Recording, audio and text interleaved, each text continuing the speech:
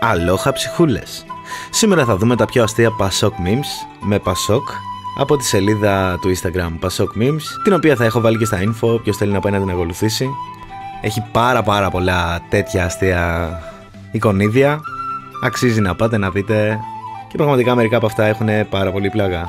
Ξεκινάμε με το πρώτο που λέει με Πασόκ εμείς παίρναμε δώρο στον Άι Βασίλη. Επίσης έχουμε με Πασόκ πρόστιμο θα έπαιρναν όσοι έκαναν ρεβεγιόν με λιγότερο από 9 άτομα. Πολύ σωστό γι' αυτό. Με Πασόκ θα κάναμε Χριστούγεννα στο Παρίσι και αλλαγή του χρόνου στη Νέα Υόρκη. Μετά έχουμε επί Πασόκ, η μόνη μάσκα που ξέραμε ήταν η μάσκα ομορφιάς. Στη συνέχεια έχουμε για το Black Friday λέει με Πασόκ Black Friday τρεπόμαστε να πάμε να ψωνίσουμε. Με Πασόκ, όποιος συμπλήρωνε 50 ώρες του WebEx έπαιρνε αυτόματα πτυχίο πληροφορικής.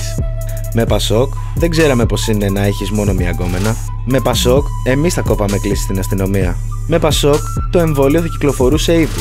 Δώρο με την αυριανή της Κυριακής. Εντάξει, θεϊκό αυτό με, το... με την αυριανή της Κυριακής ήταν θεϊκό πραγματικά. Με Πασόκ θα περνάγαμε το lockdown στη βίλα μας. Με Πασόκ οι καταλήψεις κρατάγανε 6 μήνες. Με Πασόκ κάναμε καταλήψεις ακόμα και στα ιδιωτικά σχολεία.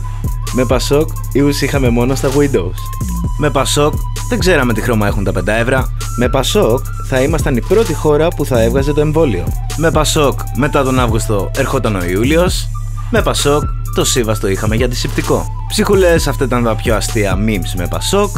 Από τη σελίδα στο Instagram με Πασόκ θα έχω το link στην περιγραφή. Όποιος θέλει να πάει να κάνει ένα follow.